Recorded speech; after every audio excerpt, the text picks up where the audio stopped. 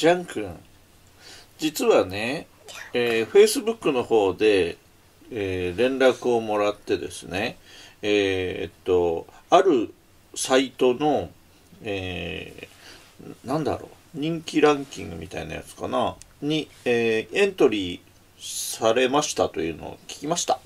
でそのサイトをちょっと待ってね。これか。あこれこれこれこれ。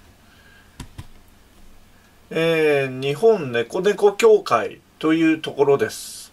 ここのえー、っとどれだっけな？協会とはしもべ。あれ？これはまた違うんだな。あそれこれか右？これです。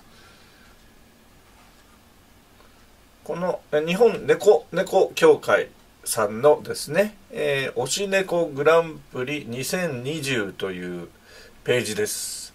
こちらの方に、これこれこれ、これ3番目。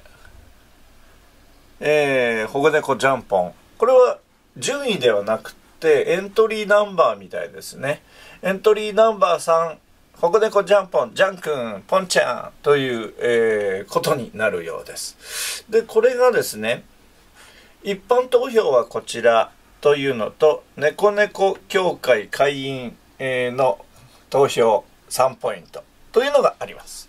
というふうに、えー、なっていますので、皆さんもよろしくね。まだね、ちょっと、えっ、と、詳細というのがちゃんと分かってはいないんですけれども、えー、まあ、エントリーされて人気があるかどうかっていうことでしょう。ただ、見るとですね、名だたる、名だたる人たちが いるようです。そっか、ということですね。まあ、あのー、たくさんの中に入れていただけただけでも、うちとしては、えー、なんだか嬉しいなということですね。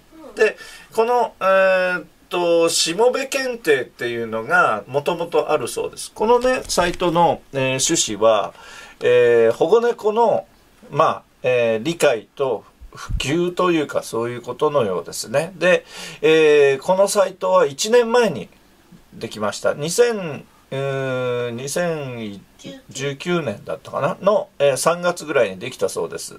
で、時間、3月だったかな？とにかく、えー、そのくらいから始まっているもので、えー、この